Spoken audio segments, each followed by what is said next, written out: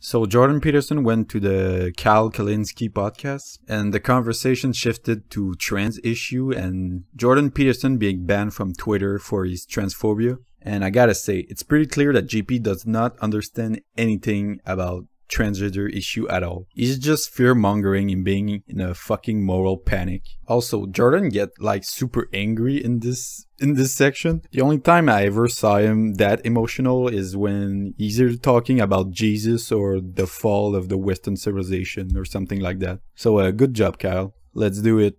Uh, the criminal physician. And Ellen Page just had her breasts cut off by a criminal physician. Criminal physician, exactly. So my question is, is the physician really criminal? If you agree that adults can decide to transition, then why would the physician be criminal? Don't adults have that right if they want to transition?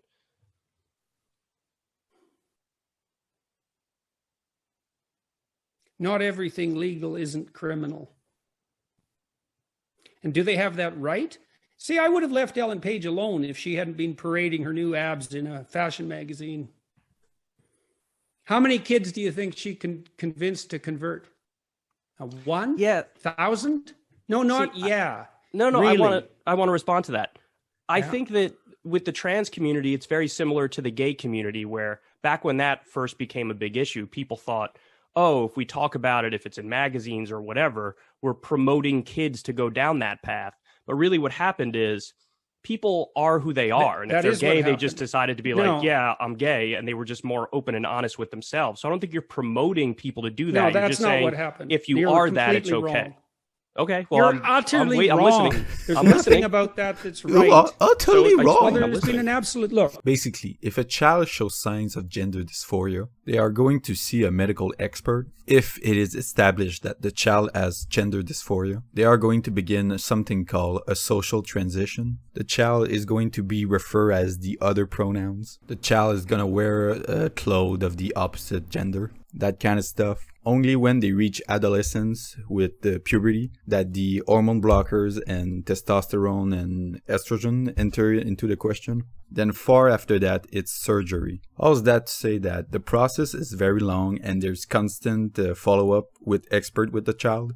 And if the child is not sure anymore and he wants to stop, he or she can totally can. Nobody's forcing them. So when JP is like, how many kids you think he has converted? Maybe a kid watched Elliot Page and was like, oh, maybe I'm trans. But because it's a really long process, if the kid is really not transgender, they will probably just drop it and that's it.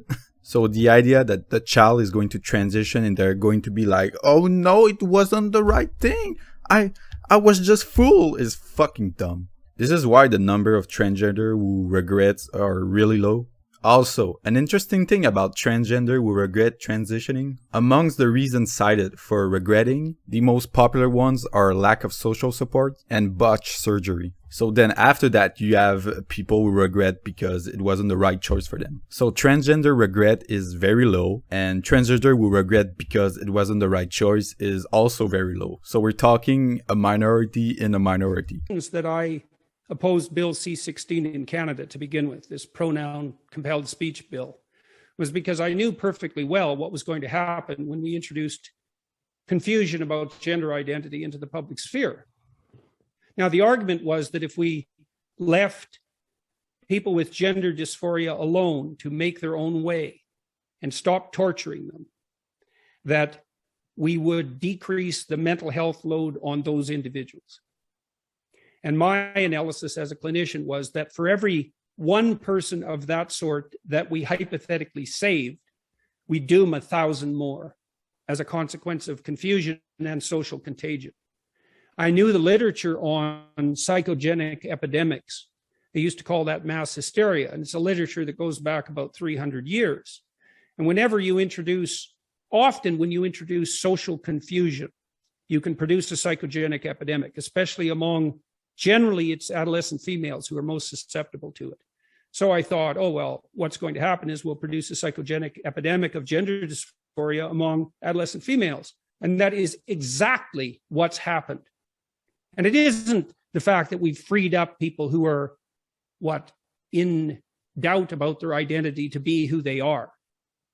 That may have happened in a tiny minority of cases. It's absolutely and definitely the case that we've doomed thousands of kids to brutal, mutilating surgery and premature sterility. And we've done that on the altar of our hypothetical moral virtue and compassion. Again, Jordan is just wrong. He is Utterly wait, I'm wrong. listening. He says that because of the gender confusion, adolescent girls are the most susceptible to gender dysphoria. Except most data are pretty clear that there's more trans women than trans men. Trans women who are biologically male and so they decide to transition to become women. So it's the boys, not the girls. Also, I like that he's like, I have studied mass hysteria and I know the effect of confusion among society. That's all good, Jordan, but how about medical study who directly address the effect of transitioning on transgender? And the medical consensus is pretty clear that transitioning increase happiness and decrease suicide rate in depression, anxiety, and all that stuff. And that transgender who regret is very low. Why don't you take a look at the increase in, in surgical interventions and see what you think? I mean, how many do you think is too many? how Again, many? Wait, look, the- if we're talking I'll, about I'll answer your question. I'll answer your question. The argument is it it used to be very repressed because that's very outside of the tradition and the norm and the standard, and that now we what sort of let the be boot off the neck used a to little be bit. suppressed? What used to be suppressed? All the, the entire LGBTQ community. I mean, it was very recently we Okay, even got of gay all, marriage in the a United States. First of all, they're not a community. well, you understand is the point this I'm making. community? No, I'm no, actually, neither I understand it nor you, and that's why we're delving into it. First of all, they're not a community. There's no LGBTQ plus community. Uh, okay.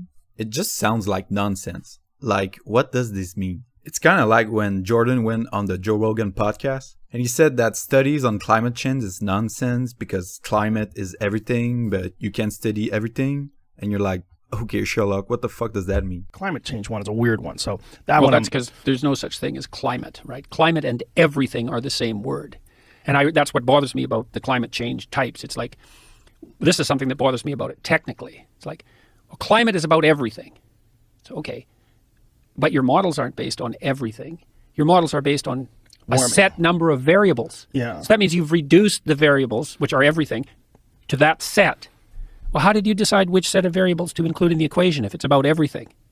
And that's not just a criticism. That's like, if it's about everything, your models aren't right. Mm. Because your models do not and cannot model everything. And I'll tell you something else that almost all the kids who are undergoing surgical intervention, the clinical literature is absolutely clear on this.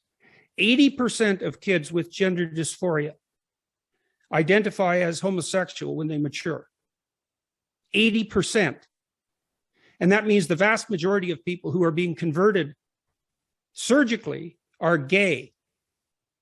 Now, how is that an advantage to the gay community precisely? No, So I tried to find this 80% trans kid identify as gay later, but I was not able to find anything.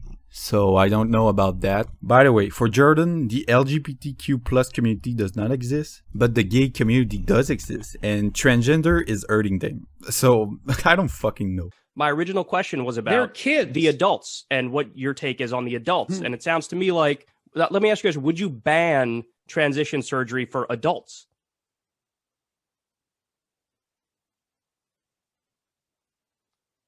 I don't know. Really? Yeah, really. We're paying a me- big price for it. And I think that I think that it was um it was an an act of stunning hubris to conduct the first trans surgery procedure. But- and it's not obvious to me at all that it's been a net social good. And But so aren't there some people that are obviously trans who were born in one body, they feel like they're in the other body, and when they're an adult, they can make the decision? And then, even from just a freedom and liberty perspective, shouldn't they have that right? Even if they do it and then they regret it, shouldn't they have the right to try it? It's a good question. I mean, it's a tricky one, right? Because there's all sorts of surgical enhancement procedures that are obviously, it's not obviously appropriate to make them illegal. And I don't know exactly where the cutoff line is, so to speak. And Who fucking care what you think, bro? What the fuck? Doesn't Jordan supposed to be dunking on emotional lefty and feminists and he's crushing them with his fact and logic? But here, it's all about his feelings. Who fucking cares? And we've got the data. Transitioning does help transgender. So fuck off with that. It seems that two-step of just spewing some nonsense. Well, you see, Cal, the metaphysical dragon of chaos does not conclude that transgender... Anyway, I'm done here. Jordan is just full of fucking shit and he doesn't know what the fuck he's talking about.